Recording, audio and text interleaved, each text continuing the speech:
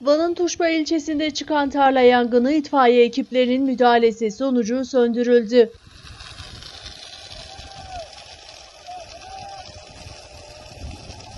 Hadi araba.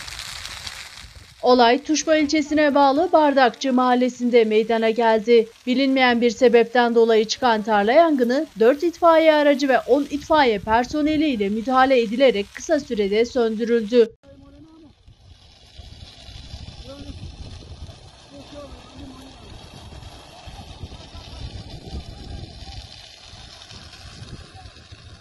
Yangının çıkış sebebiyle ilgili inceleme başlatıldığı belirtildi.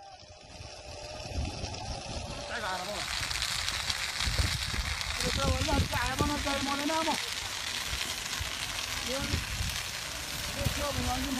you.